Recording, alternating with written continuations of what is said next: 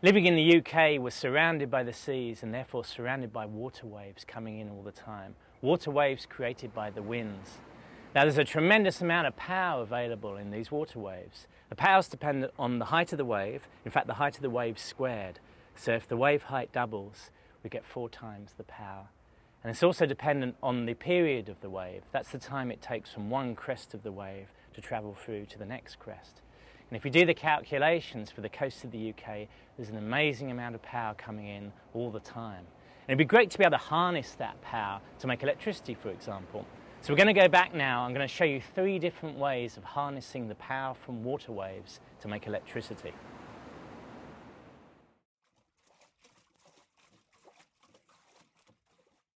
So this is a simple generator called the duck gen for obvious reasons. At the end of the apparatus here we've got a device that we can move to make water waves. Those waves pass across the tank and cause the duck to bob up and down. Now the duck is connected via a lever to some magnets which is in a coil of wire. So when the duck bobs up and down it moves the magnets which generates electricity in the coil of wire. And that goes to a little meter. This measures 0 to 3 volts. So if I move this, you can see that we're making waves. The duck's going up and down, and that's causing the magnets to move. And you can see on the meter we're generating two, almost three volts there. So two or three volts, that will power some LEDs or a small radio or even charge a battery.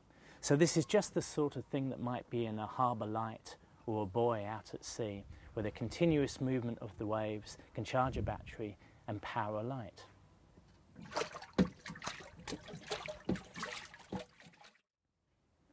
So this is the sea snake gen. It's slightly different from the duck gen in the sense that it's got two containers that float on the water.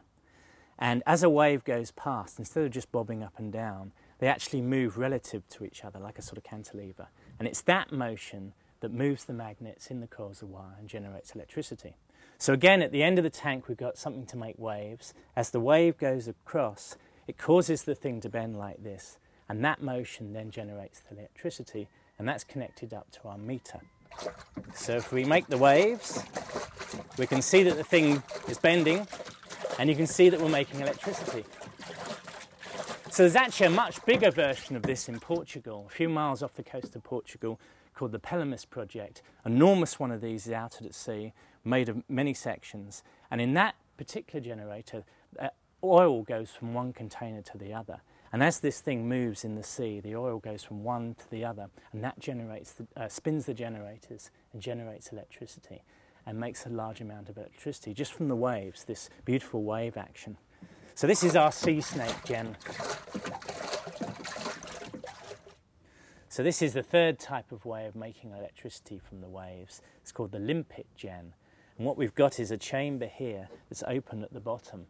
So it's sitting in the water. So there's some air trapped inside this chamber. Now, as we make waves, the waves come along and they change the height of the water level in here in accordance with the waves.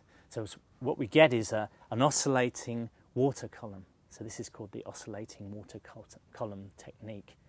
And as the water goes up and down because of the wave passing, it compresses the air that's in here and drives the generator. So as I make waves here, the waves go through the chamber, changing the height of the level of the water. That compresses the air, and you can see it makes the generator move here. And you can see that we get electricity on the meter. So this oscillating water column technique is actually used in Scotland. There's an island in Scotland that powers many, many houses by using this technique. So this is our limpet gen.